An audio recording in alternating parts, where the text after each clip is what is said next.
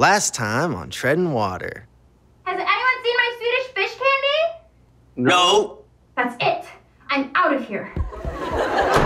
Treading water.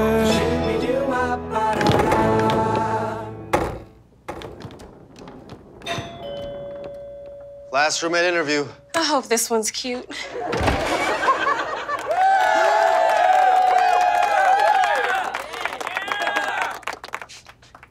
Can you move in tomorrow?